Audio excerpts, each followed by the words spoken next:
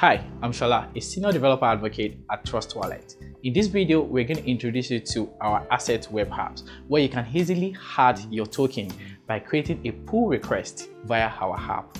With our Stellar web platform, you can easily add your token in less than two minutes.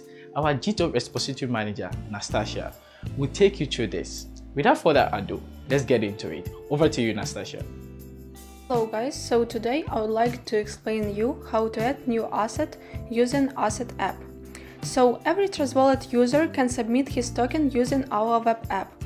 But before creating the pull request, make sure to take a look at the requirements in our documentation. So, the steps for adding new token through Asset app. The first one is to open the Assets web app. The second one is to press, press the login with the GitHub button.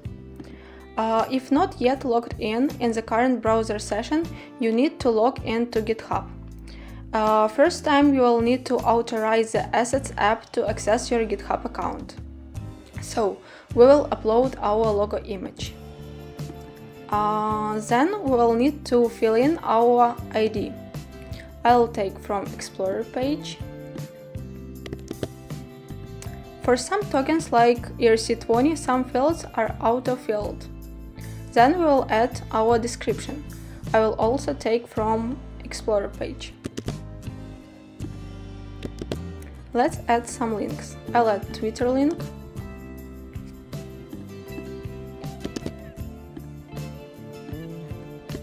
and CoinMarketCap link.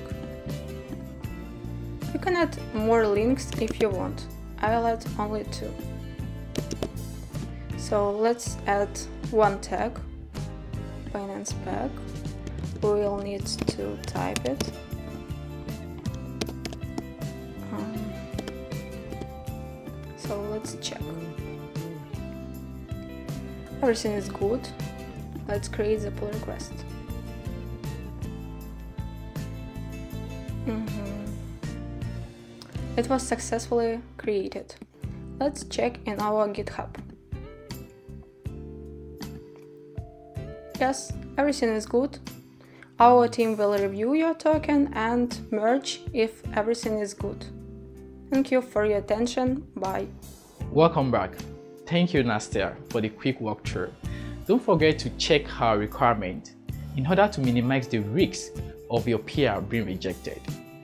You can find the link to the requirement page in the description of this video. And you can also find other useful links that will guide you and help you through to minimize the risks of your PR being rejected. Thank you, and I'll see you in the next one.